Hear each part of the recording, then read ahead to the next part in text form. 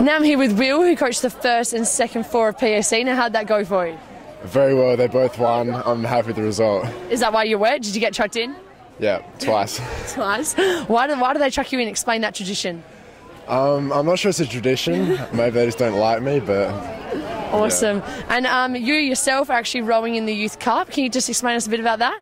um, it's an event held in Penrith where um, the states compete rowing three different boat classes.